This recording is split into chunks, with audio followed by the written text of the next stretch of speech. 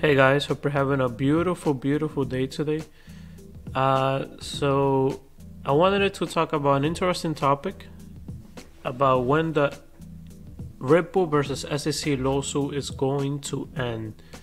Um, it's only speculation. I have no idea. I don't have any hidden uh, source or anybody in the background that could tell me any information. I'm just trying to you know have an idea of when I think it might end based on some information I found on the internet. So before I begin guys, please hit that like and subscribe button. It's gonna really really help grow my channel. And I hope you guys were able to see the the blood moon that happened yesterday.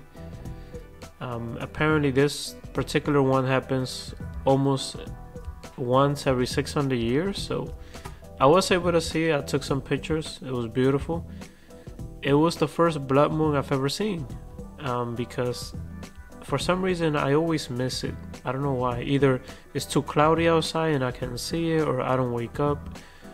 But this time I was able to see it. It was beautiful. I loved it. But alright, so when do I think the XRP lawsuit, uh, sorry, not the XRP, the SEC versus Ripple lawsuit is gonna end?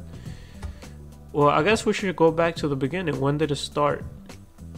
As you, as you can see here, Forbes Forbes took out this article in December 23rd, 2020, right?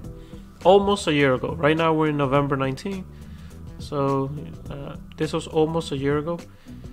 And I think the title of the article itself is very interesting. It, the title is, as you can see here, The Beginning of the End for Ripple and XRP. And I think that title itself is interesting because you have some riddlers out there who will say, "Hey, you know what? It ends where it where it began. It ends where it began." That's the the riddle that they say, and you're like, "Okay, it ends where it began," and then you have this title, "Beginning of the End." So if you read it kind of, if you read it backwards, think about it. Ends where it began. It would be kind of the same thing, right? So that's my my first clue that the Ripple versus SEC case might end on December 23rd. Maybe there's a settlement of sorts. Um, if we look at when the lawsuit was actually placed, as you can see here from the SEC website, it was on December the 22nd. So, you know, within those two days, the 22nd, 23rd, maybe we'll see some type of settlement between between the two and some type of clarity for XRP. So that's my first uh, guess right there. My, now the only the second reason I think it might be December the 23rd is because of this. Now this is a post posted by Mr. Pool, which if you're in the XRP space, maybe you've heard of him before. And as you can see here, he posted this little container with an open lid and it says 6M. And if you see down here, when he posted this was June the 23rd, 2021. 6 6M, you know, it could also mean 6 month. So if you take June the 23rd and you add 6 month on top of that, it'll, it'll take you to December the 23rd, right? 2021. So it's possible, and I mentioned this here on my Twitter. I said can this Mr. Pool post mean Ripple also will end in the next six months, meaning December 23rd, 2021? Um, it's possible. I don't know. I'm just speculating. But I think it's very interesting. And uh, like I said before, you have that riddle where it says it ends where it begins. And then you have this article that came out December 23rd with the title The Beginning of the End. So uh, that's also uh, two things I think they go hand in hand. This, the six month, you add it to this date, you get December the 23rd. You have this article with this title that also is December the 23rd. I think that's very interesting.